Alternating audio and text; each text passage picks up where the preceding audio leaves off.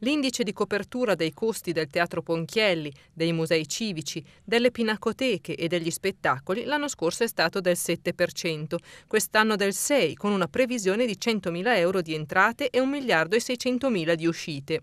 Cifre da brivido che fanno pensare a un rischio, anche perché l'anno scorso veniva segnalato un deficit di 57.000 euro.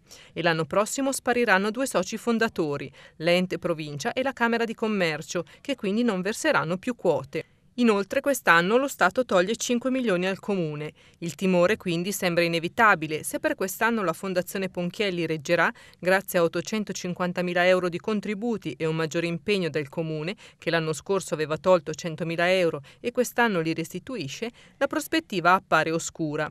Infatti i pochi privati in grado di investire già sono attivati, ma come farà Cremona a reggere l'urto di una spesa di un milione di euro se non arrivano altri soci fondatori o sostenitori?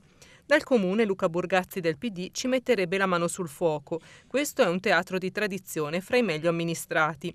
Il prezzo dei biglietti non è aumentato, la forza sta in quelle 80.000 presenze l'anno e nella capacità del teatro di produrre spettacoli in misura del 60% del proprio bilancio, un dato elevato, con danza, prosa, concerti e opere liriche. Altri teatri spendono di più per investimenti d'altro genere. Dunque, la fondazione che prende il nome dal musicista della danza delle ore non attraversa il momento peggiore, malgrado l'allarme dell'anno scorso.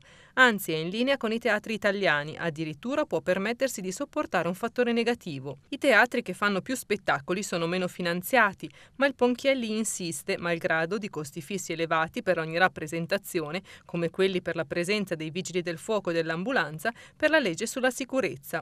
Per tre anni, lo dice il preventivo, il Ponchielli resisterà meglio di altri teatri e anzi promette maggiore collaborazione con le realtà cittadine, ma per una scelta di partecipazione e radicamento, non per fare cassa. I bandi Cariplo arrivano provvidenziali, ma il teatro dal 1986 al 2002 è stato gestito direttamente dal comune, dopo un periodo di gestione privata da parte dei proprietari dei palchetti.